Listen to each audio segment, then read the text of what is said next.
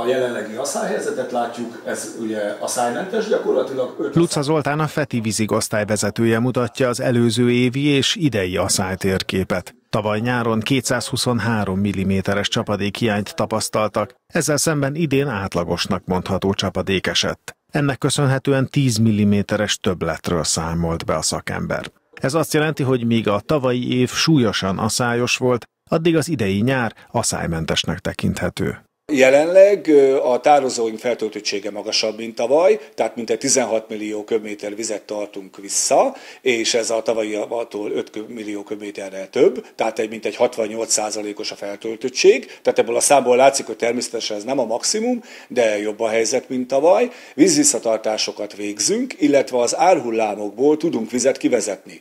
Tehát a frissen megépült Tiszatú tározó egy zöld tározó, szivattyús vízpótlórendszere van, tehát gyakorlatilag a legkisebb vizekkor is tudunk vizet kiengedni.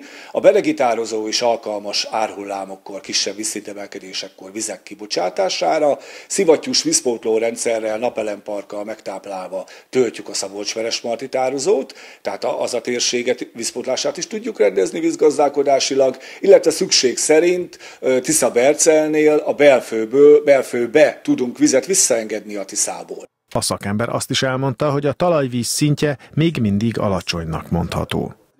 Tavaly mintegy 5 méter 20 cm volt átlagosan a talajvíz, ez mintegy 60 cm emelkedett, tehát jelenleg 4 méter 60 van. Hát ez sem éri el az átlagot, tehát talajvíz tekintetében ez azért a helyzet nem oldódott meg. Június elején tartottak árvízvédelmi gyakorlatot a Tisza túrtározónál, ezzel is készülve arra, ha áthullám érkezne a Vármegyei folyókon. Luca Zoltán azt mondta, az enyhe telek miatt egy ideje elmaradnak a nagy hóolvadások, vagyis nincs árvízveszély a Vármegyében, de a lehulló csapadéknak köszönhetően kedvezőek a mederteltségek.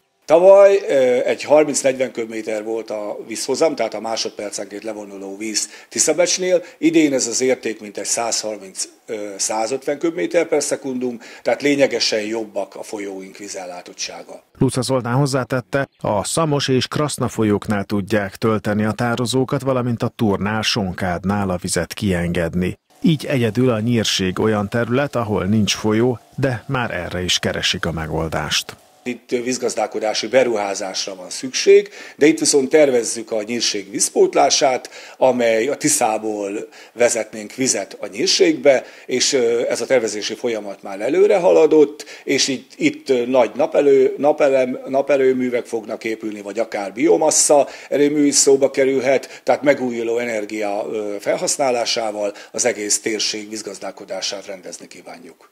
A gigaberuházás tervei várhatóan még az idén elkészülnek, amelynek megvalósítása új korszakot nyithat a nyírség vízgazdálkodásában.